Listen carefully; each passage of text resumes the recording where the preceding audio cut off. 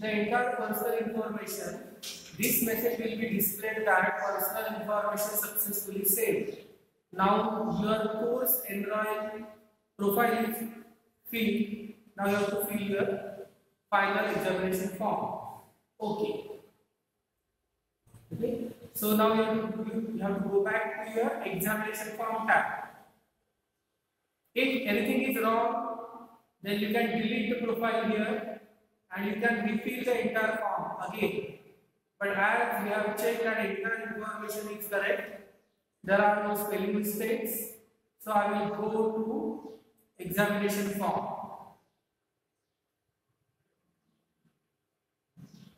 Now you have to proceed. In examination form, there will be two tabs. First year arts and science and other colleges. So we have to select other than one option and create new application form. You have to select this entire information very correctly because if anything is wrong and you have taken printout of this form, you cannot fill the second form. You have to personally visit to Pune University, request in examination session that you have filled wrong form. There if they are going to delete your form, then only you can in a position, you are in a position to fill another corrected form. So please be careful for this form filling part. Now pattern, carefully select MBA 2016 CBCS pattern. I repeat, pattern name is MBA 2016 CBCS pattern. After that, this information is there and now you can see you cannot edit the information. One tab is empty, that is 11 digit eligibility number. You can have this eligibility number only next semester when you will fill the eligibility form of university. Now you have to do next. Now this is the last part of your examination form. These ticks are automatically there.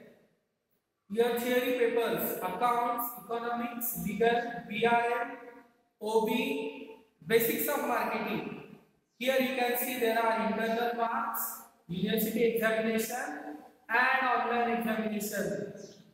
Okay, already auto tick are there. Then human rights. Again, internal examination automatically tick mark is there. Do not disturb this table. Scroll down and you will find various internal subjects. There you have to choose carefully first part that is management fundamental 137. Select. Again scroll down. Business communication lab 138. Select. MS Excel and Advanced Excel 139. Select.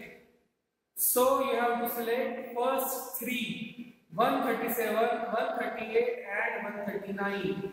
After that you have to skip the rest and directly go to 143 Personality Development Lab. I repeat, after clicking the first three, directly jump to Personality Development Lab and click on the select button. Now you have selected 4 and all the tabs are disabled. Okay, so this is currently have filled. I repeat 137, 138, 139 and 143. These are the these are your internal subjects. After that last part again we are asking you 192 and 193. You have to select only one. Which one you will select? We offer information security. I repeat, you we offer information security. So select information security.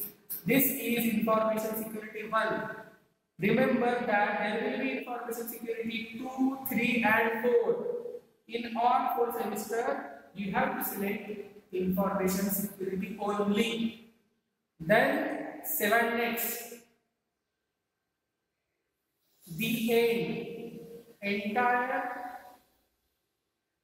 money and fee amount and bifurcation of the fee amount is displayed. Total you have to pay 1860 that is 1860 rupees only in cash no check no bank transfer no bank transfer to faculty's account no bank transfer to college account because we have to send this entire amount in cash to Pune University. There are no processing charges etc. Then you have to confirm and print. Once you click on the confirm and print button, automatically your PDF file will be generated. Now open this PDF file. Now this is your two-page form. This is your complete form. You have to take print out this of this form. You have to do your signature here now you have to submit this printed form as a hard copy along with this mentioned cash to account office only. Before submission, you have to take signature of Priyanka Ransi madam. She will check your form. She will check your account fee status. After that, she will sign on back of the page. Then only after getting signature, you submit this form to account office. Then only the entire process is complete. Few of the students just fill the online form and they forget. Then there will not be inward of this form and your hall will not be generated. So be careful about this. Take print out and submit.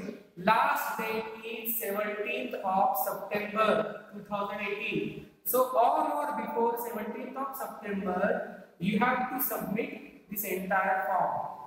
Thank you.